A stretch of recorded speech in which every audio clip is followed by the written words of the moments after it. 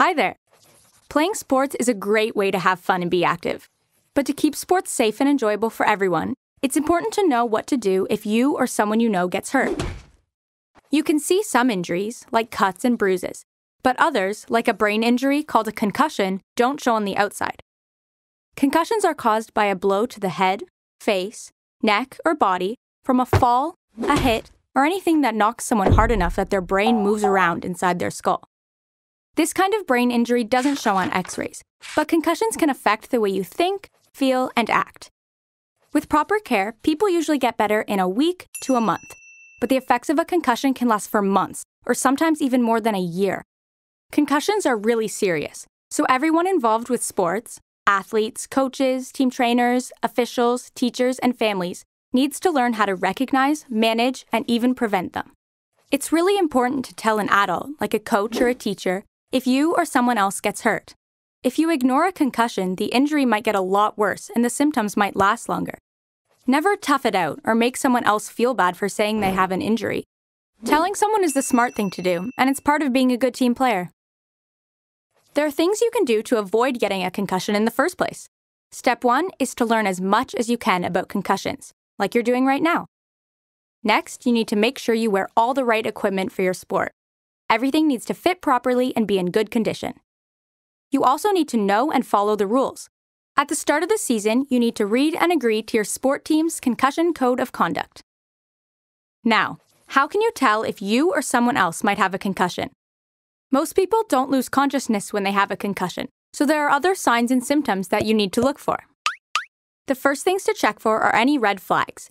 These are signs and symptoms that might mean the injury is an emergency. Red flags include pain or tenderness in your neck, seeing double, weakness or tingling in your arms or legs, a really bad headache or a convulsion, loss of consciousness, or throwing up more than once. There are also red flags for how a person is behaving, like if the person becomes confused or keeps getting more and more aggressive or even angry, if these symptoms appear, then it's an emergency, and you or someone needs to call 911 right away. Remember, concussions are brain injuries, and the brain controls almost everything we do and how we feel. This means that concussions can cause a number of different signs or symptoms. We usually group these into four categories physical, thinking, emotional, and sleep related. They might start right away, or they might take hours or even days to show up. Even if you have only one symptom, you might still have a concussion. Let's start with physical signs and symptoms. The most common is a headache. It could be pressure or pain. Some people even say it's like there's a power saw running in their head. You might also feel dizzy or nauseous, maybe even throw up. You might stumble around or lose your balance. Other symptoms include feeling like everything is too bright or too loud. Things might look blurry, or you might hear ringing in your ears. You might feel tired, drowsy, or like you have no energy. Sometimes it can be difficult to describe how you feel. You may just know that you don't feel right. The thinking signs and symptoms are things like feeling confused or not thinking as clearly or quickly as usual. It might be hard to concentrate or remember things. Emotional signs and symptoms often include feeling upset or angry easily, feeling nervous, anxious, or really sad. The last type of symptoms relate to sleep. You might have trouble falling and staying asleep, it could also be the opposite, and you might want to sleep a lot. So, now that you know what to look for, here are the four things to do if you think that you or your teammate has a concussion. 1. You have to stop the activity right away. This is a must. If you keep playing or practicing, you might make things a lot worse and can make your symptoms last longer. 2. Tell an adult you trust. Someone needs to call your parent or guardian if they're not with you. 3. You or your teammate should not be left alone with a suspected concussion. Finally, you'll need to be checked by a medical doctor or nurse practitioner as soon as possible. Remember, if you're hit, stop playing or practicing and sit out. Now let's talk about how you can recover from a concussion. All concussions are different, so don't compare your recovery to someone else's. Still, there are some steps that everyone should follow to get better. Lots of people, especially athletes, get injured, and have to rest and recover. If you hurt your knee, you can't run until it's healed and strong again, or else you might make things worse. It's the same with a concussion, except how do you rest and recover the brain? Since the brain is involved with pretty much everything you do, resting it requires taking a break in a few different ways.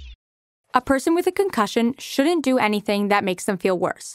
This could mean less exercise, less screen time, or even less schoolwork. It's about letting your brain and body get better. While you're recovering, you should always let an adult know if you don't feel right or if your symptoms get worse. You'll need to follow a list of specific steps before you can return safely to school and physical activity. You should work with your medical doctor or nurse practitioner and other healthcare providers, your school and sports team to make a plan that's just right for you to get better.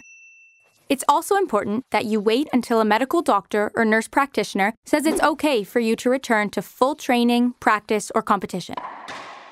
Most plans start with one to two days of rest. Each step in the plan takes at least one day, but could take several days. Once you can do the activities in one step without new symptoms or feeling worse, you're usually ready to move to the next step. If symptoms do get worse at any step, you need to stop and rest. And if symptoms don't improve or if they keep getting worse, talk to an adult you trust. Remember, every concussion is different, and a slow recovery doesn't mean you failed. It's just what you need to do to get better. On to the steps for returning to sports. Step 1 is light daily activities that don't make you feel worse. Step 2 is some light activity, like going for a short walk.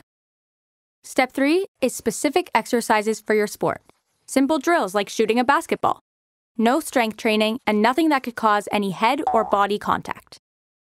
It's not until the fourth step that you can return to team practice and participate in harder drills and some strength training. There still shouldn't be any physical contact, and that's one of the many reasons why it's important the whole team understands and supports your recovery. Step 5 is returning to full practice. And step 6 is where you get back to regular gameplay or competition. Don't forget, you need the okay from a medical doctor or nurse practitioner before you can return to full practice, training, or competition. Check with your sports team and school for the specific steps that should be followed. And remember, returning to school comes first, before returning to playing sports. Athletes, parents, coaches, team trainers, officials, and teachers all have a part in preventing, recognizing, and managing concussions. Everyone needs to talk openly and understand the importance of letting others know if something doesn't feel right. Sports, physical activity, and exercise can play a big part in our lives, but our health comes first. If we recognize a concussion early and manage it properly, the brain can heal, just like any other part of the body. Thanks for listening, and take care of your awesome brain.